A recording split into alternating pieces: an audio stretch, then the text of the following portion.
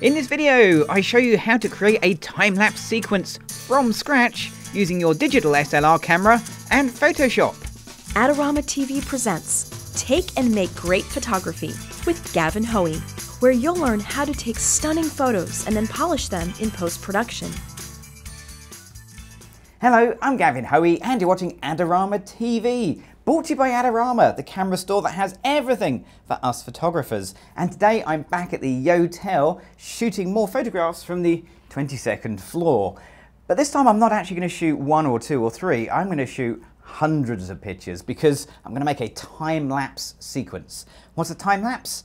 Well, it's just a series of ordinary still images but they play together really, really quickly and create a video and it's incredibly straightforward to do, just needs a little bit of setting up. Now we're going to play the, the pictures back at 24 or possibly 25 or even 30 pictures per seconds or frames per second. That means we're going to need hundreds of pictures and they've all got to be exactly the same but they need something moving through the scene to make the time lapse work. So that could be moving clouds haven't really got any of those today, but fortunately I'm in New York, so I've got moving traffic just down there. So to get this to work, you need a few pieces of equipment. First, most essential, biggest bit of equipment you're going to need, tripod. Okay, so the tripod is vital because during the time-lapse sequence, your camera must not move at all. And this could go on for well, this is going to go on about 20 minutes, but it could go on for hours. Some time lapses go on for days or even longer. And during that time, the camera has to be rock solid steady. So that's why we're using our, our tripod today. Next, you're going to need a camera, and you can do this with, with lots of different cameras. I'm going to use my Canon 60D, but if you've got a camera, have a look in the menu. Somewhere hidden in the menu might be something called an intervalometer, or maybe just time lapse.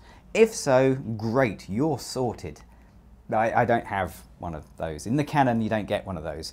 But what I do have is this little ioShutter cable that connects my camera to my smartphone. Now this cable is really useful. It doesn't just do time-lapse, there's a whole bunch of things that it can do. But for today, we're going to just use the time-lapse function. And it's going to make my life so much easier.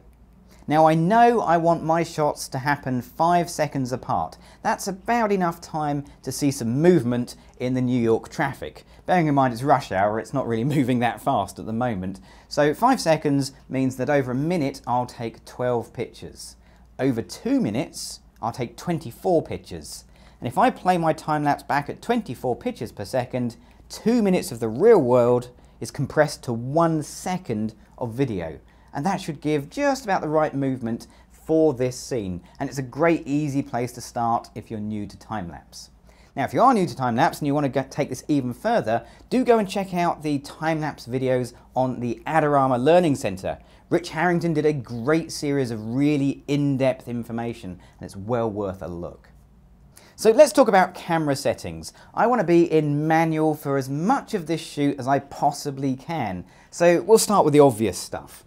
The obvious stuff means that I can switch from aperture priority mode into manual mode and that means I can take full control of the shots. Now the shutter speed I'm going to use is probably the most important bit of this because I want a shutter speed which blurs the movement. Okay, so it doesn't blur everything, I just want the things that are moving to be very slightly blurry. Not so blurry that you can't see them, but just a little bit of blur in the movement. So I'm going to go with a shutter speed that's fairly low down and then all I need to do is choose an aperture that matches and an ISO that balances everything up. And once I've done that, I'm kind of good to go with the settings because every picture will have exactly the same exposure. Now, obviously, if you're shooting a scene where the lighting is changing, you're going to need a more dynamic approach to setting your, your camera up. That's a bit more advanced. For this tutorial, I'm shooting a scene where the lighting is going to be exactly the same for the next 20 minutes, half an hour or so. Okay, so my shot's framed, my camera's set, everything's ready to go. I can start my time-lapse sequence going on my smartphone and it's going to take a picture every five seconds because that's how it's set up. But what I'm going to do is photograph my hand. So Wait for it, there you go. the first picture of my sequence is my hand.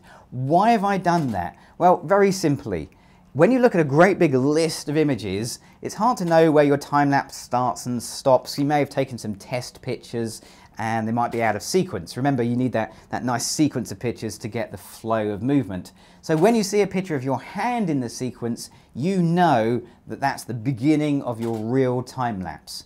Another good tip is when you get to the end of your time lapse, wherever that might be, put your hand in again for that last shot and you can grab the two pictures in between.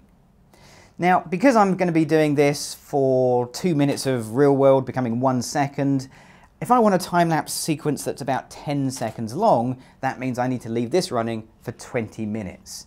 Obviously, if you want a longer time lapse, you leave the, the camera set up longer.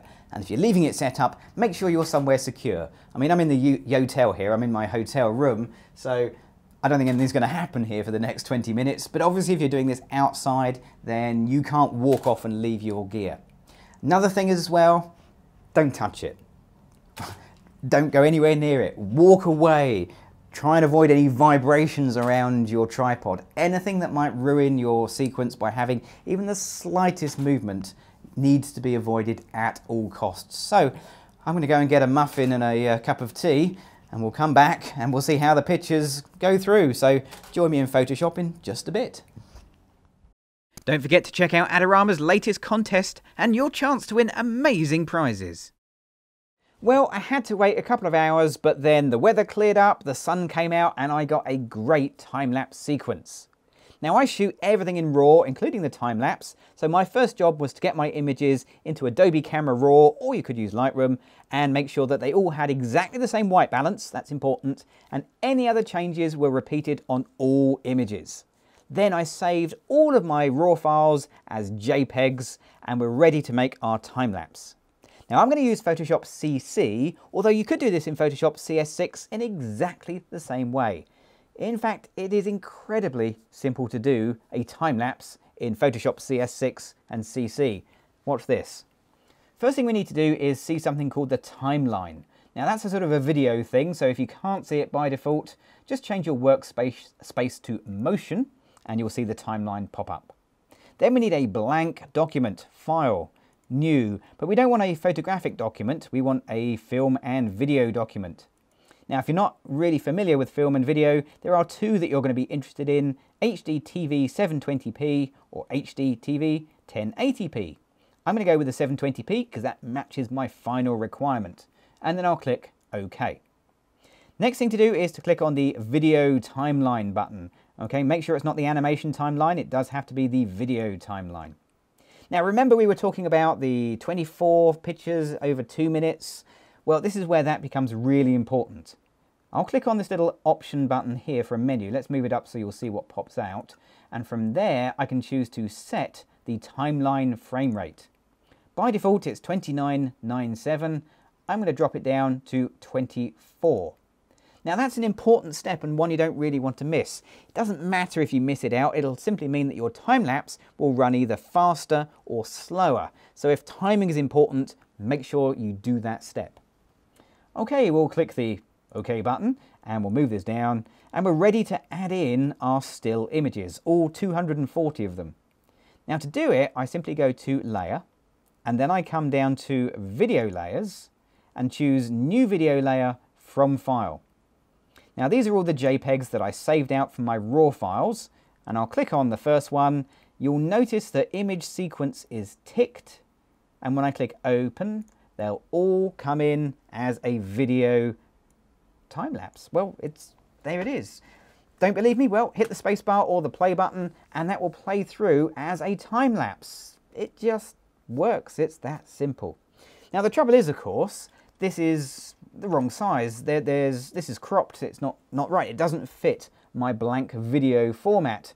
So what do we do? Well, if this was a photograph, how would you make your photograph smaller in Photoshop? Yeah, you'd use free transform.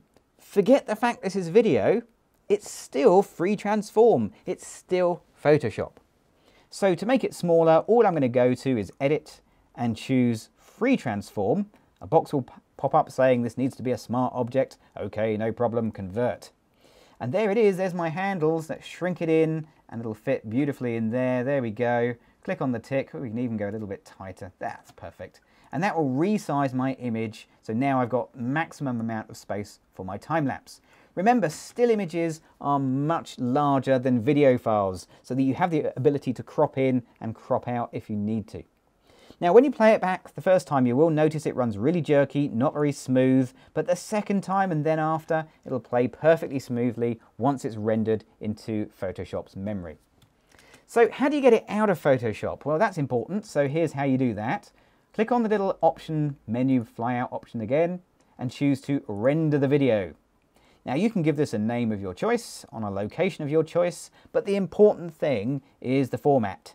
H264 is kind of the, think of it as the JPEG version for video. It's compatible with everything and it's the one to choose. Your preset is vital of course, remember we chose 720p but also 24 frames a second. So make sure your export format matches what you were working with all the way along, otherwise again your rate of play will be different. And when you're done, click on the render button and that will save your video out onto your hard drive. So there we go, in just a few minutes we've gone from 240 still images into a time-lapse sequence lasting 10 seconds.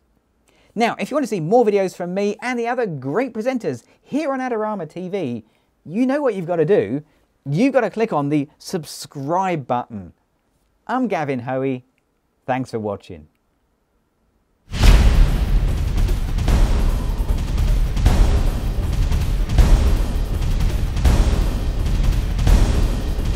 you want great looking prints at low cost, be sure to visit our easy to use online printing service. Adorama Pix has professionals who treat your images with the utmost care that you can count on. For a quick turnaround on photos, cards, or albums, use AdoramaPix.com.